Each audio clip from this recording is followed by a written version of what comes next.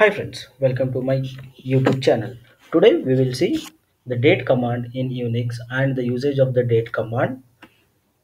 To explain about the date command, I have taken a screenshot of few of the examples of the date command followed by the options and the usage of those options along with the date command.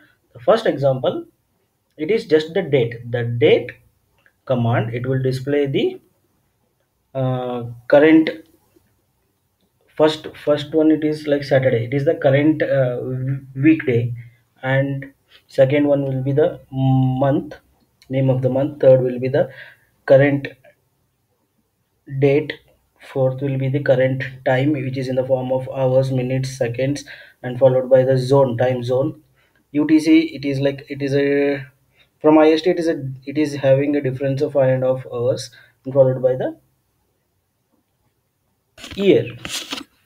But in some cases like we are when we are uh, writing scripts and all um, we require a customized format of the date, date command to be used.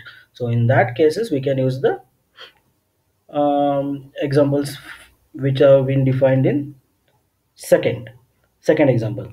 So there are like few more options which comes along with the date command. So second option it we will check date space followed by we have to open a single quote then we have to we have to open a single quote then followed by the uh, user defined like what what output we have we, we have to display. So it should be like plus so that will add to the date command. Uh, so plus date that is a user defined. It is not a actual date command because it is in caps. So how we, we want to display like so that that will be the user defined how the which format you want to uh, display the output. So that is user defined uh, which is there in the caps date which is there in the caps followed by the colon. So we require the output should be to be in that format. Percentage small m it will internally display the current month followed by that is uh, user defined this thing. Uh, like if you want a colon instead of uh, hyphen we can use colon.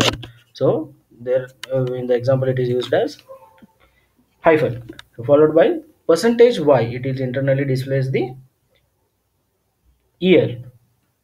Percentage n it is used to get the output in the next line. If you see in the next two lines first line it is the date uh, which in, in the caps followed by colon. And percentage m we have given so 07 followed by hyphen. Percentage y we have given that is the words why it is 2017 that is in it is written as 17 so after that we have given percentage n. So the output like goes to the next line. After that it will display the time. Time is again a user defined like what in which format if you want you can give. So uh, time followed by it is like percentage capital h. Capital h internally displays the hour current hour. Capital m displays the current minute. Capital S percentage capital S displays the current second.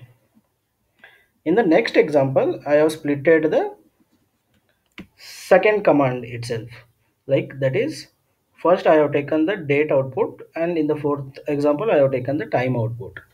But in the second example, like I have used both the uh, third and fourth example, but it was been separated by a new line that is percentage n. But in third and fourth, I have taken it separately so that you can understand clearly along with the date we can keep in mind like for uh, to, for a customized usage of the date command we can add the options like percentage small m percentage small y percentage uh, capital h percentage capital m percentage capital s Hope this video is helpful for you friends.